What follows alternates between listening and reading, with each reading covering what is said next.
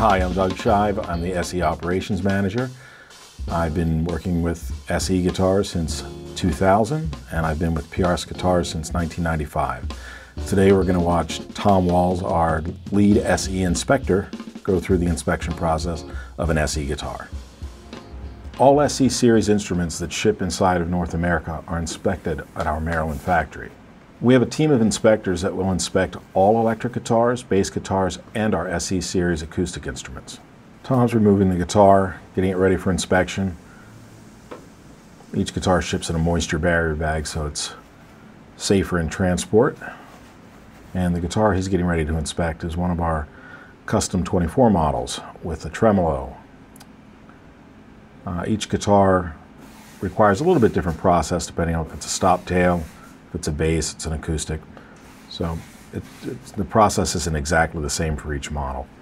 The, the process begins uh, with a visual inspection. We're making sure the, the paint looks good, no debris in the finish, uh, no scratches, burns. We want it to look as good as possible. First thing we do is take the truss rod cover off so we can adjust the truss rod. We want to make sure it works properly. That has to work just right or the rest of the setup doesn't really matter a whole lot. So we start there. We want to check the tension on the tuners, make sure they feel right, not too tight, not too loose.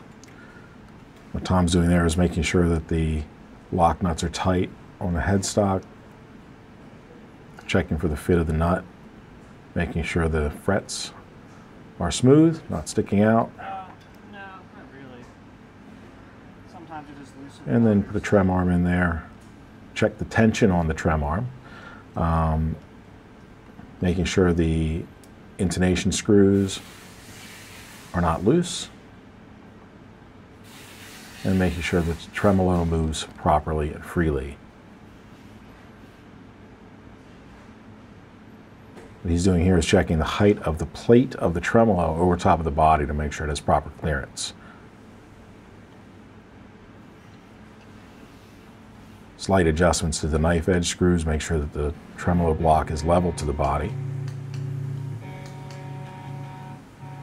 And then just a quick check of the electronics to make sure it sounds sounds right is tuning it up right here.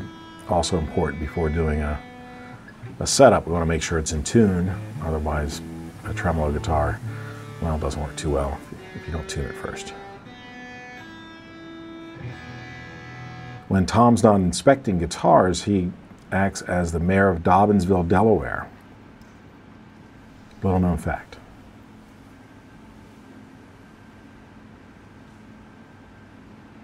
And what he's doing here is checking the relief. We use a capo and some feeler gauges to do a um, min, min and max spec. Make sure the, uh, the action is just right. It's important to set the, the um, relief on the neck before we do any other adjustments. So once the guitar is tuned and then the, the relief is set, then he'll check the, uh, the other specs. And the reason Tom's putting the capo on the, on the, at the first fret is that it um, negates any issues that may be present with the uh, slots on the nut. We know how high the first fret is, so we adjust off of that. And we'll come back then later and check the, the height of the strings at the first fret. And that's what he's checking right there with the digital gauge. And that shows if the slots need to be deepened at all. If they, if they haven't been cut deep enough, we can go back and, and set that. Really the same process that we do on the US guitars, and the specs are uh, basically the same as well. The goal is to get a, an, an SE guitar that looks and feels like a US guitar as close as possible. We want the experience to be very similar.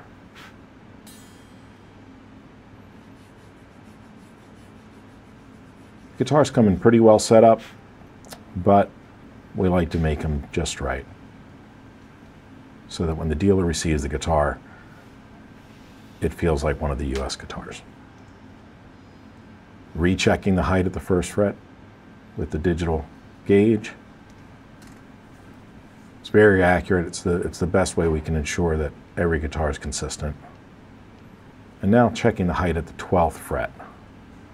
So again, the, the relief has been set, the first fret action has been set. And now what he's doing there is adjusting each saddle just a little bit to dial it in. In fact, the strings are not set at the same height on each string. It varies slightly. It, the, action is a little bit higher on the low string, a little, a little tighter on the high E string.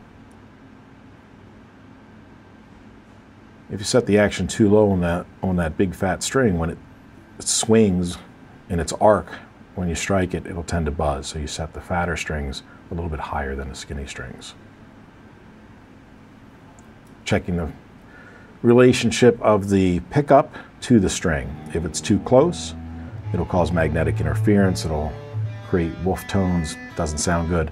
If it's too far away from the strings, it's just weak. So you gotta find that sweet spot, and we have a spec for that.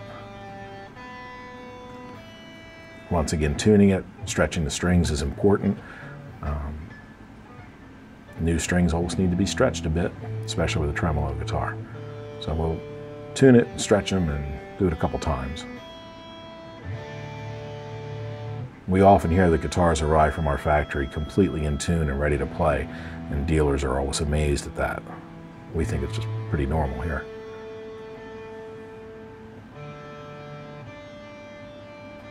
No matter where it ships, it should, it should arrive ready to play out of the bag.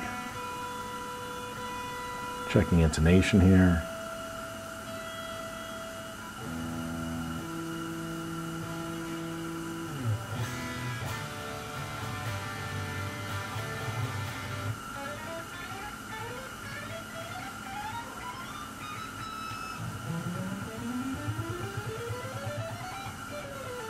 Tom likes to play a lot of notes.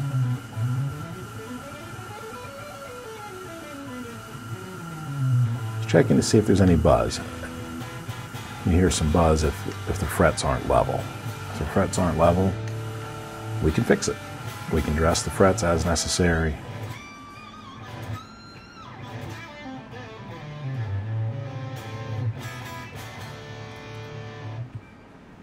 All right, all the setup is complete put the truss rod cover back on, and then a quick wipe down, get all the fingerprints off of it.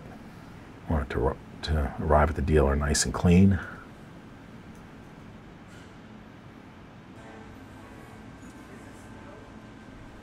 And then a hang tag. Each one is signed and dated by the inspector, just like the U.S. guitars headstock protector we're going to put on top of the headstock to help protect it during shipping. Warranty card is placed in the bag. Always double check that the tremolo arm is in the bag if it's a tremolo guitar. Truss rod wrench. And it's going to go on the pallet ready to put into inventory. This may not be the last stop for this guitar. On Fridays, we randomly choose three guitars to be inspected by the Core Guitars quality control folks.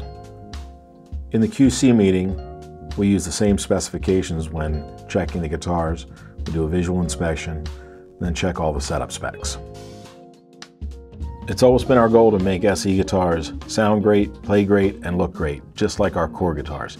Thanks for joining us on this small tour of the SE department.